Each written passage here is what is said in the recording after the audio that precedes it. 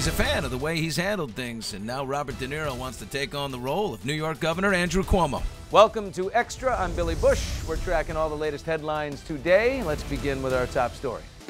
As the governor went on The Tonight Show, imploring everyone to not let down their guard, and he used a bit of his trademark humility and humor with Fallon as he took on his recent rocket ride to national fame. Today, Madonna is revealing she tested positive for coronavirus antibodies, saying she felt ill during a part of her recent Madame X tour. Jennifer Lopez just sent a shout out to those on the front lines in the Bronx. I just want to thank all of the hospital workers, the doctors, nurses, and staff at New York Presbyterian Hospital um, for fighting the good fight. Uh, your heroic efforts have not gone unnoticed.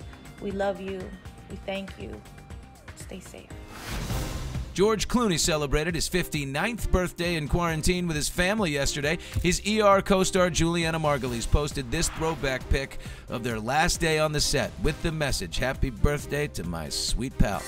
While we talk about reopening the country, what are you seeing around there? Georgia was the first. There's a little bit of a spike there. Anything devastating, or are we uh, slowly okay here? What do you see? Nothing devastating, but it's a little too early. Look, somebody has to go first.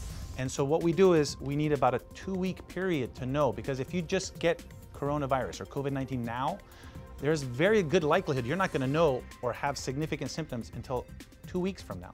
That's when we measure it in the right. hospital. Too early. So it's a little too early. Having said that, it's a must. We have to go back into society and we have to learn. If we realize we did something too early, we have to be able to pull back. And that's why not losing the public's trust in what our recommendations are is so important. Well, we have to recognize a very special species called the rhesus macaque monkey. They're soldiers, they're angels in this process. Look at these guys, not very cute. But the University of Oxford, which has made some great headway with the vaccine, they've had success. In, in late March, these guys responded incredibly well in their early trials, which allowed in mid April Oxford to move into human trials. Are we that similar? Yeah, like 98% similar. Can anything bad happen to these little fellas? Of course, they can. We're testing. It is unfortunate. Uh, we never want to test on other animals, but uh, at this point, it's a pandemic. Thank you for watching. If you want more extra, hit the subscribe button and the bell so you'll never miss a video.